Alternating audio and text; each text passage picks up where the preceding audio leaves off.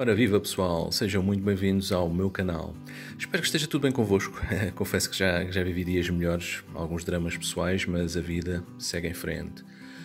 Uh, neste momento estou a fazer a alteração do meu 200 litros, como podem ver já reduzi o nível da água, já tirei alguns 30, 40 litros, uh, já tirei a maioria das plantas, já apanhei também grande parte da fauna. Vou colocar aqui os troncos que ainda aqui tenho com musgo este e aquele isto foi colocado aqui há posteriormente, uma altura em que vocês não, não viram, eu não publicava vidros, tirei tudo o que era sassiflora daqui, coloquei anúbias, etc., que estão guardadas também aqui. Na minha caixa quarentena e, e hospital e o que quisermos, onde eu tenho também guardado essas anúbias, tirei, separei-as das pedras e onde eu tenho também já grande parte da fauna, tenho uma ou duas coridoras, tenho, tenho pronto, talvez a maior parte dos, dos neons, já tenho pelo menos três Ember Tetra e hum, Otocincos tenho um deles, o maior, o meu mais antigo. O resto da fauna que eu também já apanhei, coloquei aqui nos 60 litros, coloquei dois dos Otocincos, eu tinha ali três, os mais pequeninos vieram para aqui e coloquei também dois barbo cereja, um casal. Casal que pelo menos a fêmea já, já reproduzi duas vezes, o macho não sei se terá sido este, se não, estão ali a ver o, o macho que eu coloquei aqui os autociclos é possível que também estejam ali para aquele cantinho. É possível que eles agora andem mais ou menos em, em cardume. Aqui está o outro. E neste aquário também depois vou passar a minha colónia de Endlers para o 200 litros. Falando no 200 litros, não sei já se, se repararam numa coisa que neste momento só estão aqui tetras, barbos, nadeias, coridoras e asculi. Um, a minha colónia de, de guppy foi à vida. É verdade, eu adoro guppies. Já tive durante vários anos. Se eu tivesse 50 aquários, de certeza que mantinha várias uh, linhagens de guppies, inclusive um, os guppies uh, misturados. Mas, como tenho poucos aquários, tenho de fazer uma rotação das faunas, porque eu agora quero trabalhar com, com outra espécie que vos vou mostrar, entretanto, no outro vídeo. E Portanto, vem para aqui a colónia de Endlers, vão ser os únicos vivíparos que eu tenho. Eu adoro, adoro guppies, neste caso gosto muito da minha colónia de Endlers, portanto resolvi ficar com ela, ficar com aquela colónia pura. Apanhei os guppies que aqui tinha. Possivelmente ainda vou ficar com um macho guppy também ali numa situação no 60 litros num projeto que vocês vão ver a posteriori. Aqui, a minha ideia será colocar criptocorine e plantas que possam ficar à sombra deste lado, porque possivelmente é aqui sempre que vêm as plantas flutuantes eu vou querer ter plantas flutuantes já percebi por experiência própria que me ajudam imenso nas algas. Uh, aqui vou ter valisnéria, pois é, vou postar agora em valisnérias, é, é uma planta que eu não tenho já há imenso tempo.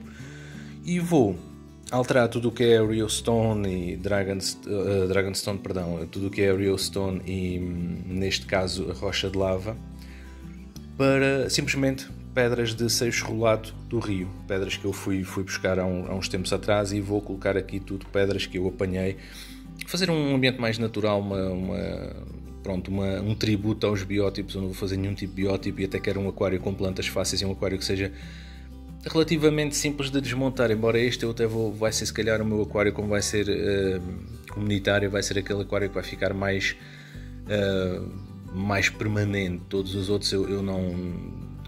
Quando, quando vocês virem depois de montado, é possível que eu vá ter uma facilidade em 10 minutos, caso eu queira apanhar algum peixe mais teimoso em desmontar aqueles aquários. Como podem ver, ainda há pelo menos ali dois barbos cereja macho, um zembar e o resto dos cardinais. Um, no entanto, a nível de barbo cereja há para aí novidades, mas isso também fica para um novo vídeo. Uh, as pedras que eu vou buscar serão uh, as pedras que eu tenho são do género destas aqui, mas pedras enormes, pedras grandes, pedras volumosas um, que eu já estou a, a preparar já estive a, a, de molho durante algum tempo, vou limpá-las ainda melhor e tenho ali bastante, bastante pedra para acrescentar aqui. Como vou mexer nisto, isto é alcatifa, como podem ver no chão também já tenho uma, uma passadeira assim para, para fazer eh, para evitar estragos, pronto, para apanhar também a água cai. Tenho ali uma iluminação, pois é, não sei se já, já repararam nisso, mas neste momento a luz do meu aquário foi à vida. Entretanto, mandei, mandei vir uma que não, não serviu, não, não era muito potente. Pronto, a loja foi 5 estrelas, devolveu-me logo e eu mandei de volta, devolveram-me logo o dinheiro. Entretanto, comprei uma nova luz e passar três duas, três semanas a luz simplesmente deixou de funcionar, a luz ardeu, houve ali um, notava-se ali num plásticozinho alto, a luz a ter queimado.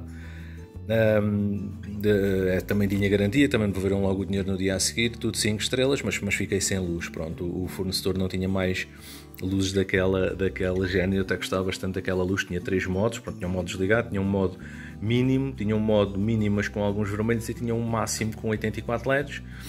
Entretanto, uh, estou agora à espera de uma, de uma terceira luz para este aquário, vamos lá ver se desta é de vez, se esta luz é que fica. E, e, para já não tenho muita iluminação, por isso é que tenho aqui também este candeeiro para me ajudar uh, quando ando a mexer no aquário.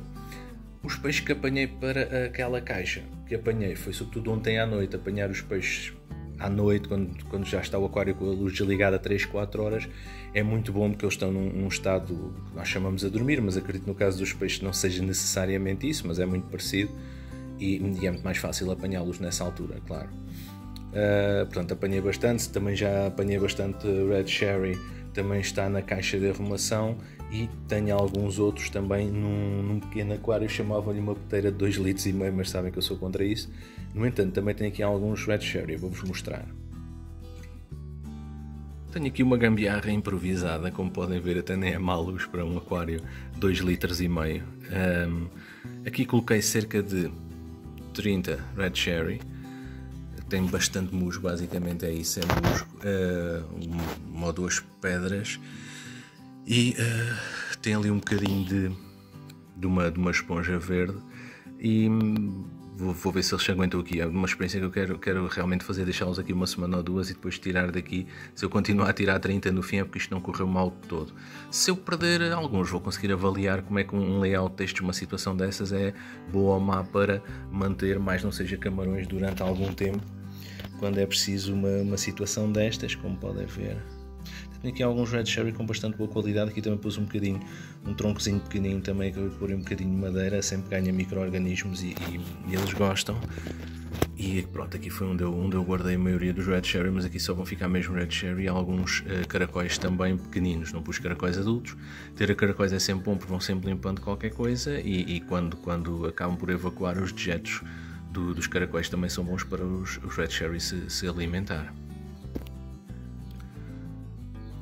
Portanto, basicamente é isto.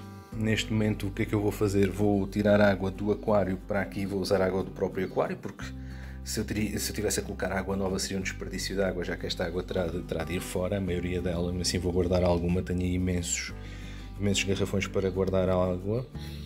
E vou, vou, encher aquela caixa de água, vou colocar os troncos lá dentro. Aqui também tenho um tronco que quase nunca se viu, mas isto está, está cheio de, de fetos de Java, mas por baixo há aqui um tronco que eu quero reaproveitar para este outro aquário, logo vejo.